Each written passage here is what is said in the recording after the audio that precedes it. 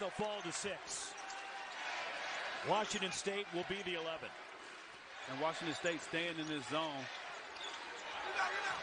Remy Martin right.